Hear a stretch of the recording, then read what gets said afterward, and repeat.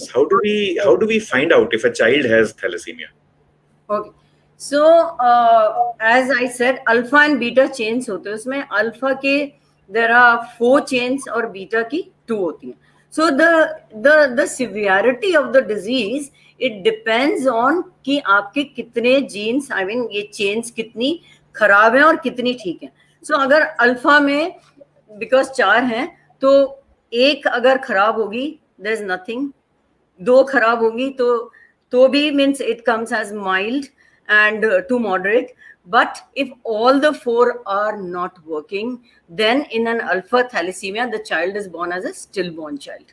जो हाइड्रोप्सपिटालिस करके हम बोलते हैं तो the child is born like that और टेस्टिंग कैसे करते हैं? जैसे यू आस जिस नाउ तो कैसे पता चलेगा कि थैलेसीमिया है हमको? सो फ़र्स्ट टाइम अगर हमें पता मीन्स पता चला है पेरेंट्स की कोई टेस्टिंग ही नहीं हुई है कुछ भी नहीं हुआ है। और फ़र्स्ट टाइम बच्चे का हमें कैसे पता करना है? So usually in a child जब वो बेबी बॉर्न होता है तो इनिशियल uh, टाइम्स में कुछ नहीं पता चलेगा। Till the age of nearly one and half two two years जब धीरे धीरे साइन सिम्टम्स उसके मैनिफेस्ट होने लगते हैं। है ना? लाइक like, uh, उसकी ग्रोथ माइलस्टोन्स uh, वो वाले नहीं आएँगे जो नॉर्मल माइलस्टोन्स होते हैं। ग्रोथ प्रॉपर नहीं होगी। He won't be eating properly he be very pale to look at तो ये सारे जो साइंस एंड सिम्टम्स आने लग जाएँगे, वो nearly one and half two two years पे। तो तब हमें, हम कैसे पता करेंगे कि थैलेसीमिया तो एक तो ये वाले जो साइन सिम्टम्स आएँगे even a normal person I mean a non medical person non medico भी ये साइंस एंड सिम्टम्स बच्चे में उसको समझ आएगा कि कुछ बच्चे में प्रॉब्लम है। तो हम लेके जाएँगे डॉक्टर के पास। तो फ़र्स्ट थिंग डॉक्टर क्या करेगा is a blood count besides looking at him physically वो फिजिकली चेक जो भी करे वो करेंगे but a blood count shows a typical anemia microcytic hypochromic anaemia but anaemia के और भी बहुत सारे कॉजेज हैं।